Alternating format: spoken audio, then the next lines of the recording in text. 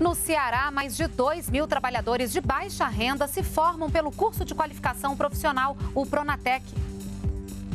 Um país só se desenvolve quando os seus trabalhadores são capazes de um trabalho qualificado. Fiscalização no Mais Médicos. Ministério da Saúde vai reforçar a análise das informações dos cadastrados. Além disso, no ato da inscrição, médicos na residência e participantes do Provab vão ter que apresentar comprovante de desligamento para participar do programa. E veja também nesta edição do NBR Notícias. SAMU vai ter mais recursos para atender a população aumenta o número de inscritos no FIES, o Fundo de Financiamento Estudantil. Cresce no Brasil a intenção de viajar de carro nos próximos seis meses, de acordo com o Ministério do Turismo. O NBR Notícias começa agora.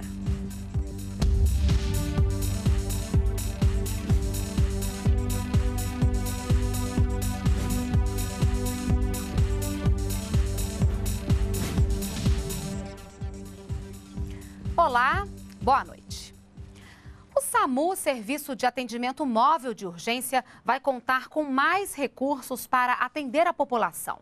A verba destinada a estados e municípios para a manutenção dos serviços de saúde teve um reajuste de 19%. Em todo o país, cerca de 137 milhões de pessoas são atendidas hoje pelo SAMU, o Serviço de Atendimento Móvel de Urgência. Através do 192, as equipes de médicos e profissionais de saúde são acionadas para prestar os primeiros socorros ao cidadão. Operador copia Papa Terceiro em deslocamento. E para aperfeiçoar esse atendimento, o Ministério da Saúde vai ampliar o valor da verba de custeio que é repassada aos municípios. O recurso, que hoje é de 744 milhões de reais ao ano, vai passar para 844 milhões, um aumento de 19%. A verba é destinada à capacitação dos profissionais que atuam no SAMU e manutenção das equipes e equipamentos das unidades móveis. O objetivo do Ministério da Saúde é garantir garantir que todos os municípios possam prestar atendimento de qualidade à população. O Ministério também vai dobrar os recursos para ampliação e construção de centrais de regulação de urgência nos municípios. Além disso, as centrais terão um aumento de 40% nos recursos para manutenção dos serviços. E o Ministério da Saúde vai reforçar a análise de documentos dos inscritos no programa Mais Médicos. A ideia é comprovar se os médicos querem mesmo participar. Ao vivo, o repórter Paulo La Salve traz para gente todos os detalhes. Boa noite, Paulo. Boa noite, Renata. A ouvidoria do Sistema Único de Saúde está encarregada de fazer esta checagem. Vai ligar ou mandar e-mails para os médicos que já fizeram a inscrição no programa.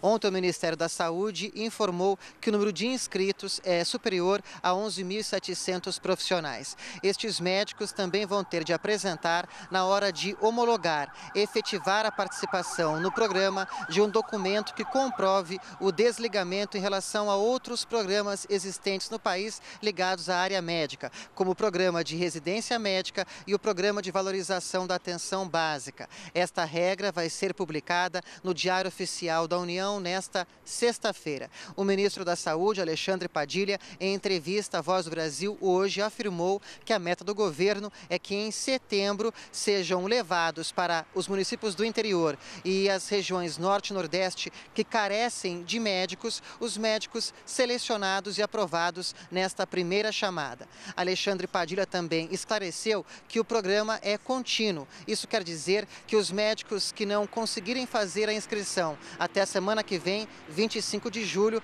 podem continuar tentando nos próximos meses. Os interessados em participar do programa Mais Médicos podem se inscrever no endereço eletrônico do Ministério da Saúde, que é www.saude.gov.br na rede mundial de computadores. Renata. Obrigada pelas informações. E como Paulo disse, a partir de setembro começam a chegar aos postos de saúde e hospitais públicos do interior e periferias das grandes cidades os profissionais inscritos no programa Mais Médicos. A ministra Ideli Salvati, de Relações Institucionais, falou hoje no programa Bom Dia Ministro que a região Nordeste vai receber atenção especial. O edital de inscrição dos médicos e das prefeituras está aberto e encerra agora no dia 25. Aí tem o processo de seleção e a previsão é dos médicos estarem chegando nos municípios, nos postos de saúde, né, em todos os locais aonde está faltando médico, a, a partir do, do final de setembro. Ali nós já vamos ter uh, os médicos começando a trabalhar. O Maranhão é o estado brasileiro que tem o pior índice de médico por habitante. É o mais baixo do Brasil. E, portanto, nós vamos ter né, uma, uma atenção diferenciada para a não só para o Maranhão, como também para a região Nordeste. Novos profissionais preparados para o mercado de trabalho. Nesta quinta-feira, mais de 3 mil alunos do Programa Nacional de Acesso ao Ensino Técnico e Emprego, o Pronatec, se formaram em Fortaleza, no Ceará. Hoje também a capital cearense recebeu duas linhas de metrô para facilitar a vida dos mais de 350 mil passageiros que usam esse tipo de transporte todos os dias. Na inauguração das duas últimas estações da linha sul do metrô de Fortaleza, a presidenta Dilma Rousseff fez o trajeto por trem entre as estações José de Alencar e Chico da Silva. Já foram entregues 18 trens, que são climatizados para garantir maior conforto aos usuários. O novo metrô também vai garantir mais rapidez nos deslocamentos. Nos horários de pico, o intervalo entre um trem e outro será de 3 minutos. O valor total do projeto da linha sul do metrô de Fortaleza é de 1 bilhão e meio de reais. Desses recursos, 1 bilhão e 200 milhões vem do PAC, o Programa de Aceleração do Crescimento. A expectativa é que com a integração total com os demais sistemas de transporte, 350 mil passageiros utilizem diariamente o metrô de Fortaleza. Em discurso, a presidenta Dilma falou sobre o Pacto pela Mobilidade Urbana, anunciado em junho, que prevê investimentos em transportes de 50 bilhões de reais para todo o país.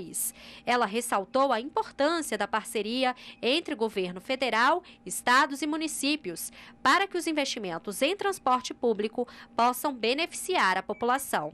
Era convencionado no Brasil que o transporte coletivo era das prefeituras e do estado e que o governo federal não tinha de pôr dinheiro. Nós não concordamos com isso. Achamos que este é um problema dos brasileiros e, portanto, é um problema do governo federal também. Quando se faz um projeto como esse, o que nós estamos fazendo é dando condições e qualidade de trabalho. Qualidade de trabalho, eu não estou falando só de transporte, qualidade de trabalho, porque a pessoa terá melhores condições para enfrentar um, um dia de trabalho e para, ao voltar, ter mais acesso ao seu lazer, ao seu descanso. A presidenta Dilma também participou da cerimônia de formatura de 3.200 alunos do Pronatec, o Programa Nacional de Acesso ao Ensino Técnico e Emprego. Desses, 2.400 alunos fazem parte do Pronatec Brasil Sem Miséria, que oferece cursos a pessoas inscritas no Cadastro Único para programas sociais, e em especial para os beneficiários do Bolsa Família. Nós queremos, cada vez mais, qualificar o trabalho dos brasileiros e das brasileiras. Se perguntarem para vocês por que, que a gente quer um trabalho mais qualificado, porque um país só se desenvolve quando os seus trabalhadores são capazes de um trabalho qualificado. O que, que é um trabalho qualificado? Aquele de um especialista que aprendeu a fazer uma coisa da forma melhor possível.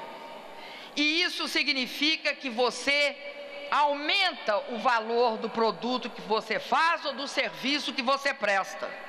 Mas também vai significar sempre um salário maior.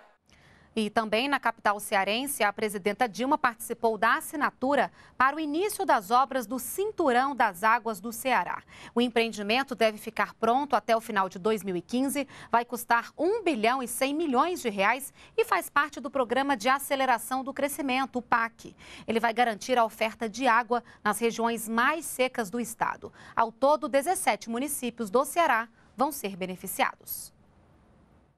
Conviver com a seca significa ser capaz de impedir que os efeitos perversos dela atuem sobre a sua atividade produtiva e sobre a vida de cada um dos nordestinos que vivem no semiárido.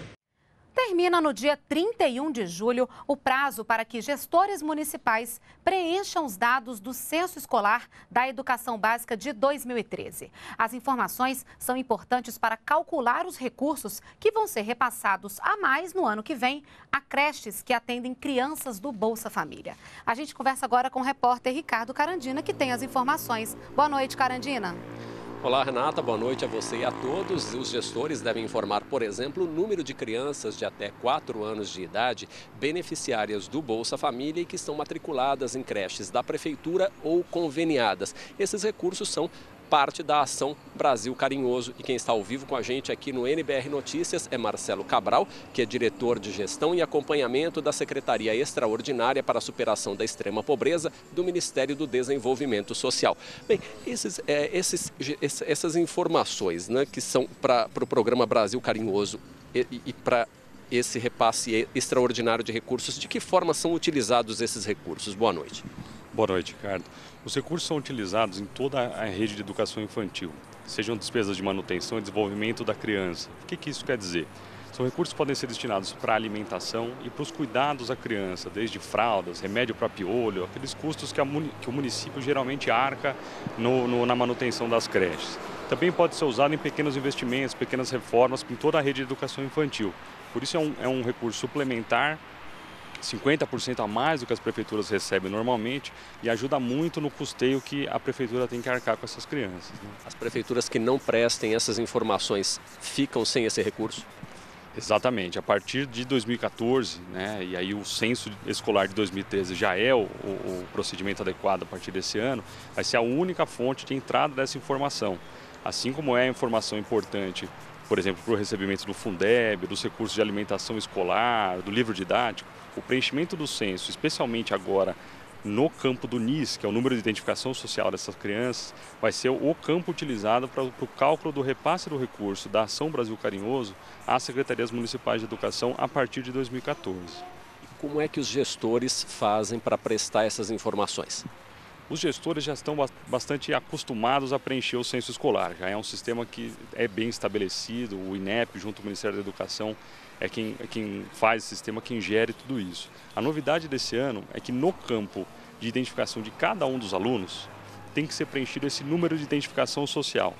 Então, para as crianças de 0 a 48 meses que são matriculadas em creche, quando elas forem identificadas pelo gestor escolar, ela tem que inserir, o gestor escolar tem que inserir o número de identificação social que permite com que a gente saiba que essa criança é do bolso ou não.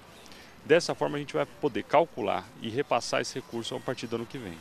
Então aqui agradeço a participação de Marcelo Cabral, que é diretor de gestão e acompanhamento da Secretaria Extraordinária para a Superação da Extrema Pobreza do Ministério do Desenvolvimento Social. E esses recursos extraordinários no ano passado atenderam a mais de 380 mil crianças. Renata. Obrigada pelas informações, Carandina e aumentou a procura pelo Fundo de Financiamento Estudantil, FIES, que facilita o acesso à educação superior. Só no primeiro semestre deste ano, o número de novos contratos chegou a 330 mil, quase 90% do total em todo o ano passado.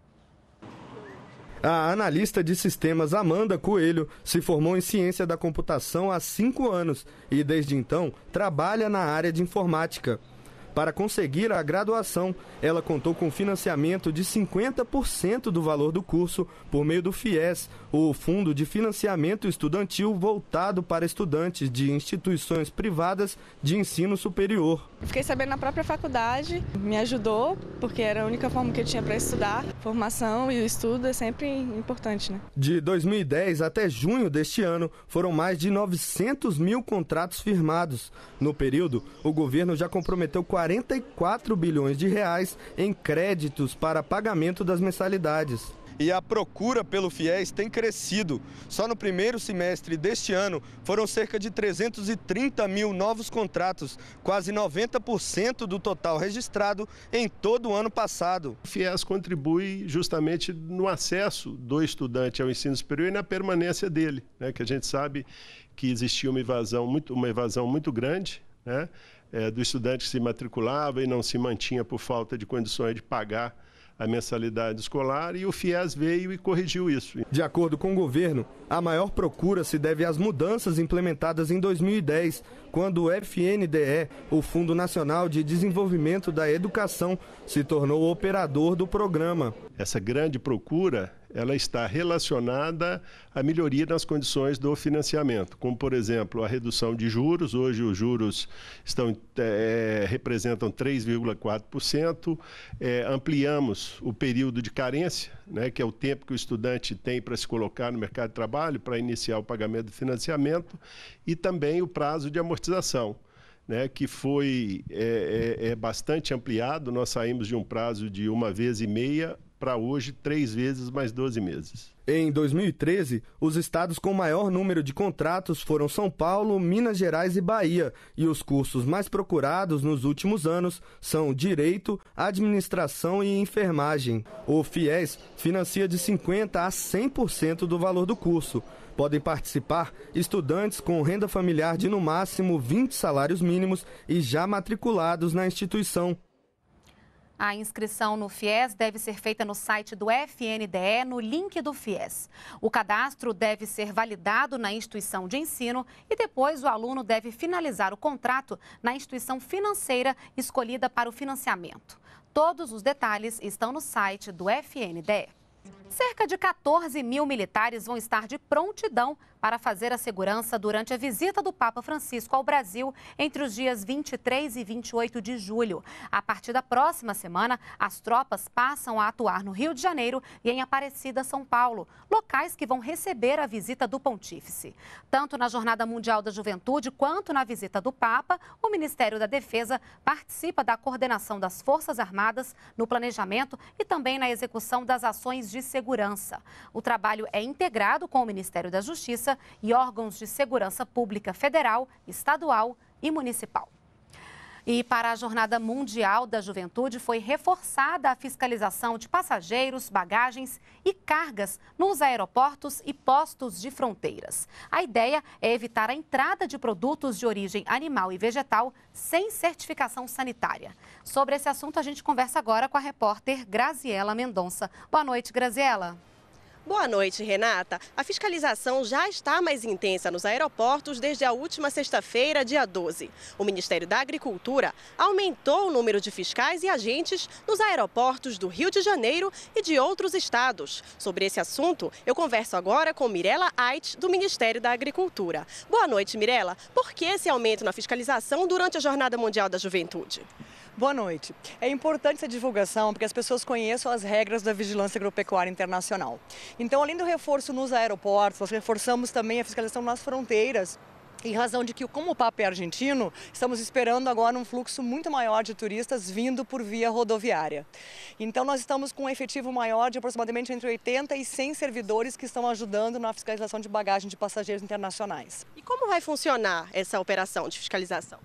Na verdade, o aumento do efetivo é justamente para que a gente tenha uma maior agilidade, para que não se delongue muito os procedimentos de aduaneiros nas fronteiras e também nos aeroportos. Então, a gente está buscando sempre procurar produtos que não podem ingressar no Brasil. Certo. E quais são esses produtos que precisam de uma autorização especial para entrar no Brasil? São produtos de origem vegetal ou origem animal que requerem autorização prévia de importação ou certificação fitossanitária, no caso dos produtos de origem vegetal, ou certificação sanitária, no caso do produto de origem animal. Dentre esses produtos que tem, que estão sujeitos a essas regras, nós temos na área vegetal flores, sementes, mudas de plantas e da área animal nós temos os produtos lácteos, que são queijos, inclusive o doce de leite também, e alguns produtos carnes e mesmo enlatados e industrializados. Muito obrigada pela sua entrevista. Lembrando que a lista dos produtos que precisam de autorização para entrar no Brasil estão no site do Ministério da Agricultura. Renata. Obrigada, Graziela, pelas informações. A Defesa Civil Nacional criou estoques estratégicos de assistência humanitária para atender pessoas atingidas por qualquer tipo de desastre. Cada região do país vai contar com um centro de distribuição de materiais como água, kits de limpeza e higiene pessoal, cobertores e alimentos. Inicialmente, os estoques vão ser instalados em Manaus, Porto Alegre, Rio de Janeiro, Recife e Brasília. Os centros devem ser instalados no segundo semestre desse ano. Os brasileiros estão viajando cada vez mais de carro. É o que aponta uma pesquisa do Ministério do Turismo. Segundo o levantamento, em junho, 25% dos entrevistados pretendiam pegar a estrada com a família. Julho, alta temporada de férias escolares e ainda mês da realização da Jornada Mundial da Juventude no Rio de Janeiro. O resultado? Aeroportos lotados em todo o país. Isto porque, na hora de viajar, o avião continua sendo o meio de transporte preferido por 59% dos viajantes, de acordo com o Ministério do Turismo. A viagem de avião é pelo motivo que nós queríamos otimizar o tempo. Se nós fôssemos nos deslocar de carro, nós levaríamos uns três dias. Então, três dias nós já estávamos na praia nos bronzeando. Nós vamos de avião porque é mais cômodo melhor, é mais rápido e porque a gente precisa chegar lá bem mais rápido que de ônibus. Eu poderia ir de carro, mas eu opto pelo avião, pelo conforto, primeiramente, e pela rapidez. Mas a professora Gladys pensa diferente. Vai viajar de carro com a família de Brasília a Sorocaba, no interior de São Paulo. Quase mil quilômetros separam as duas cidades e a distância não será problema para ela. Tem várias vantagens, né? Primeiro é a questão da, da liberdade que você tem de você fazer sua própria rota, de você fazer seu próprio caminho. É, você pode decidir entrar numa cidade menor, você pode decidir parar na hora que você quer. Tem a questão do horário também, você sai na hora que você quer, você não precisa se ajustar aos horários dos, dos ônibus ou do avião é, conforto, né? E dependendo do número de pessoas que tiver no carro, você economiza também. A intenção de viajar de carro nos próximos seis meses tem crescido entre os brasileiros.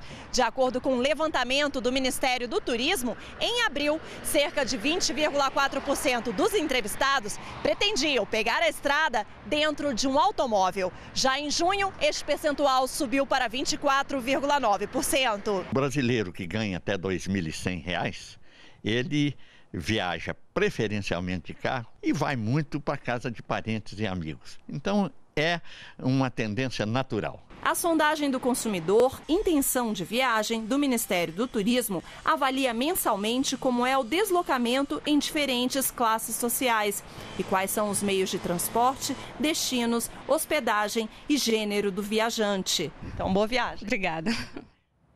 A pesquisa do Ministério do Turismo é realizada nas seis maiores regiões metropolitanas do país: Belo Horizonte, Brasília, Porto Alegre, Recife, Salvador, Rio de Janeiro e São Paulo. O levantamento na íntegra pode ser acessado na internet no site do Ministério do Turismo.